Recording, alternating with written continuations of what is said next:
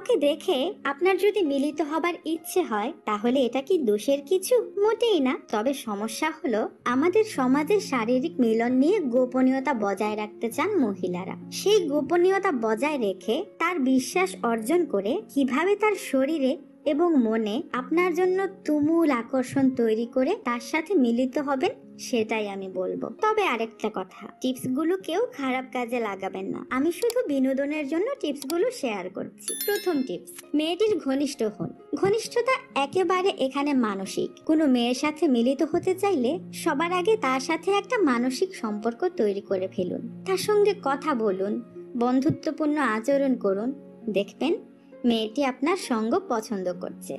দুই, হয়ে উঠুন তার পছন্দের মানুষ। একটু খেয়াল করুন, পছন্দের পুরুষ হবার আগে কিন্তু পছন্দের মানুষ হওয়াটা খুবই জরুরি। আর কোনো মেয়ের সাথে মিলিত হওয়ার আগে এই দ্বিতীয় ধাপটায় সব ছেলে ভুল করে বসে। কীভাবে পছন্দের মানুষ হবেন তাও বলে দিব। শুধু ধৈর্য ধরে ভিডিওটি শেষ পর্যন্ত দেখুন। তিন, রাতে সক্রিয় হন। এখনই উত্তেজিত হবেন না। এখানে কথা বলার জন্য সক্রিয় হবার কথা বলছি। খেয়াল রাখবেন, কথা বলার জন্য সন্ধ্যার সময়টা খুব ভালো। তখন মেয়েদের মনে এক ধরনের রোমাঞ্চ কাজ করে। সন্ধ্যা থেকেই দুই একটা মেসেজ পাঠাতে থাকুন, তাহলে উল্টো দিকেও কথা বলার আগ্রহ বাড়বে। তারপর একটু রাত জেগে না হয় কথাই বলুন, তবে ভুলেও এত তাড়াতাড়ি খারাপ কোনো কথা তুলবেন না। তাহলে কিন্তু সুযোগ হারাবেন। চার, দিনের বেলায় হয়ে উঠুন আলাদা মানুষ। রাতে কথা বলার সময় দুই একটা দুষ্টামের ইঙ্গিত দিলেও সকালে সেসব প্রসঙ্গ একেবারেই তুলবেন না। তাহলে একটা ভারসাম্য বজায় থাকবে। মেয়েটিও আপনাকে পছন্দ করবে, কারণ মেয়েটি বুঝতে পারবে আপনি সবার মতো যৌন কাতর নন, বরং আপনি সবার থেকে আলাদা। পাঁচ, তাকে পছন্দ করেন বা ভালোবাসেন, এমন কথা ভুলেও তাকে বলবেন না। আপনি যে তাকে পছন্দ করেন বা আপনি তার প্রতি দুর্বল, এসব বিষয়ে কোনো কিছু বলার দরকার নেই। তাহলে মেয়েটি ভেবে নিবে যে আপনি শুধু যৌনতা চাচ্ছেন এবং সঙ্গে সঙ্গে পছন্দের তালিকা থেকে আপনাকে বাদ দিয়ে দিবে। ছয়, এই পাঁচটি ধাপ ঠিকঠাক পার হয়ে গেলে নিশ্চিত হতে পারেন যে আপনার সুযোগ আছে। এই পাঁচ ধাপে ঘনিষ্ঠতাও বেড়েছে আপনাদের।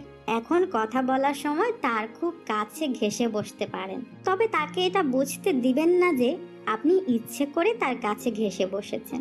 এমন ভাব করবেন যেন আপনি ব্যাপারটি খেয়ালই করেননি। মাঝে মাঝে কিছু দেয়া নেওয়ার সময় আলতো করে স্পর্শও করতে পারেন। সাত, আপনার প্রতি তার অ্যাটেনশন তৈরি করুন। এখন সরাসরি আসল পয়েন্টে যাওয়ার সময়। যখন মেয়েটি একা থাকবে, তখন আলতো করে তার আঙুল নিজের আঙুলের মাঝে জড়িয়ে নিতে পারেন।